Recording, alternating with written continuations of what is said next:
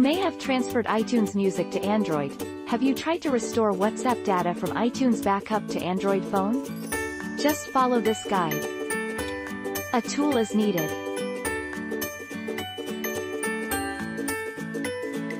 Let's begin.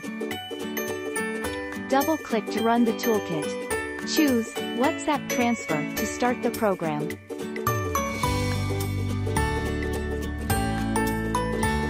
The Restore WhatsApp from iTunes Backup. Choose a backup file from the list. Preview the chat message and select the ones you want to restore. Click the button, Recover to Device. Connect your Android phone to the computer via a USB. Click the Recover button.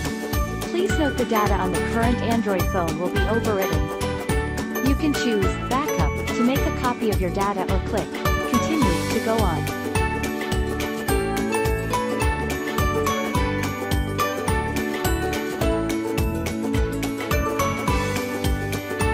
Begin to restore.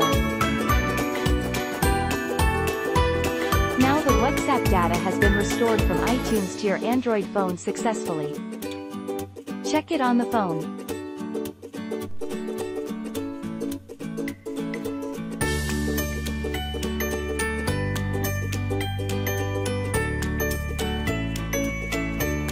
The message is restored on this Android phone.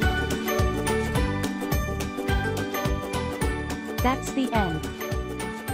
Thanks for watching.